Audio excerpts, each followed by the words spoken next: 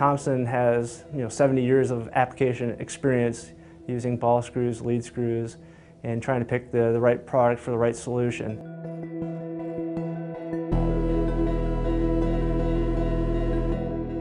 Ball screw and lead screw, it can be used in the same applications in many, many instances. The advantages of a ball screw is mainly the efficiency and the predictable life of a ball screw.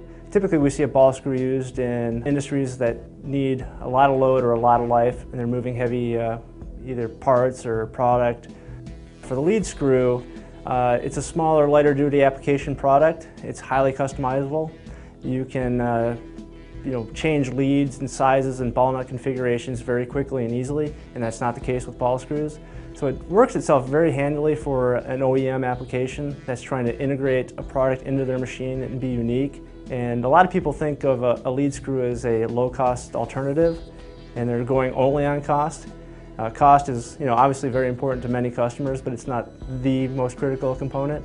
First test we're going to do is just to show the difference between a ball screw and lead screw and how quiet and smooth the operation is. And we'll run through quickly a little bit of what makes up each product. Typically a ball screw made up of three or four different components. Again, you obviously got your screw, a nut, and the difference between a ball screw and lead screw is just the recirculation system.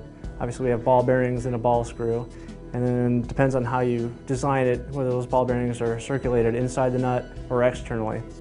This is an inch style ball screw and it's got an external return system. The balls actually come outside of the nut before they go back in. And the difference between this obviously makes a little bit more noise.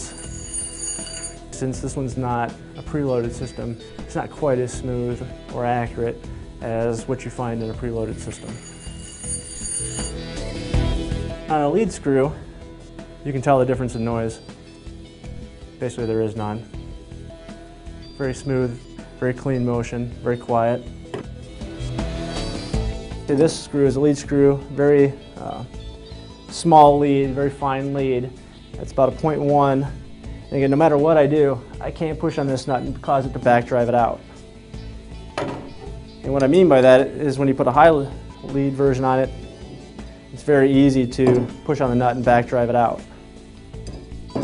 And again, you can see how smooth and quiet a lead screw is. Lead screw has definite advantages for many applications. Uh, it's smooth, quiet, clean, uh, self-lubricating, um, corrosion resistance.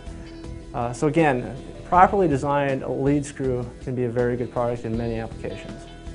The nice thing about Thomson is we do have uh, a lot of years of experience both in ball screws and lead screws and we are here as the experts to help just you know help machine builders design the optimal product into their machine. And be that a lead screw or ball screw it doesn't matter to me as the engineer. I want to put the correct product in the customer's machine and allow them to get the most benefit uh, of that product